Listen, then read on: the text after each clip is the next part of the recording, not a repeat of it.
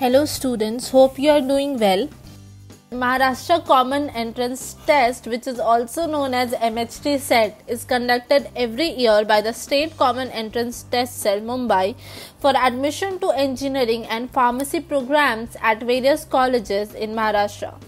The candidates who are interested in MHT CET exam must apply for the exam beforehand. However, it is very important for the candidates to have the complete idea of the MHT CET application process before filling the application form.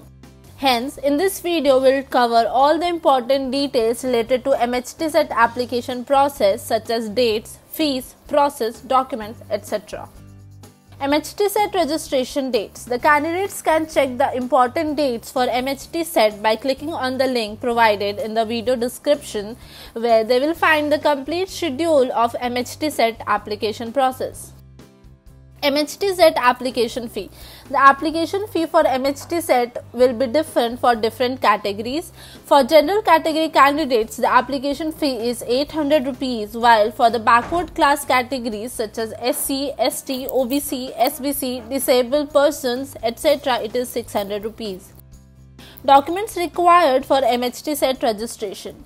The candidates must keep ready the following documents beforehand for MHT CET application form which includes class 10th mark sheet, Aadhaar card, class 12th details, category certificate, mobile number and email ID to register and credit card or debit card or internet banking details to pay the application fee.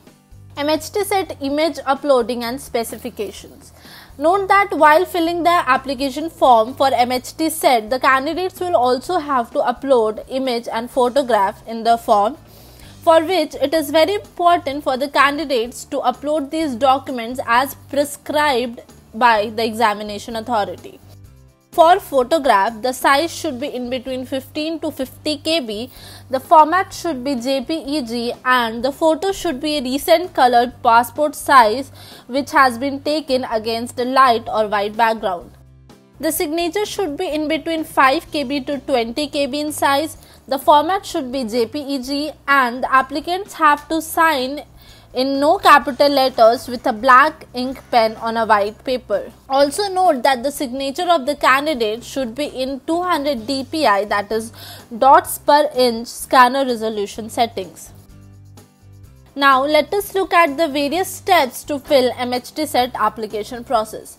The very first step is registration for which you will have to visit official website then you will have to click on application form link, enter your name, contact number and email ID to register, click on submit.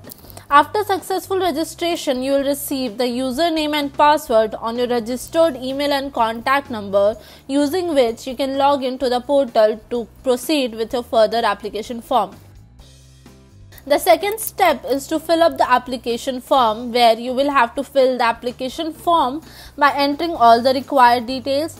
Also remember to cross check your details after filling the form and once you have cross checked all the details click on submit. The third step is to upload the photograph and signature where you will have to upload the photograph and signatures as prescribed by the examination authority. After uploading the documents, click on the proceed button. The fourth step is the fee payment where you will be redirected to the payment page and you have to enter your debit or credit card or net banking details to pay the application fee. The last step is the application confirmation where after successfully completing the application process you will receive a confirmation receipt on the screen. Note that you must download the receipt and application form for future reference. MHT CET application form correction. Note that the candidates who have made any mistake while filling the MHT CET application form can make corrections to the form online. The dates for MHT CET application form correction will be available on the link provided in the video description. Also note that there will be no additional fee to make changes in the application form.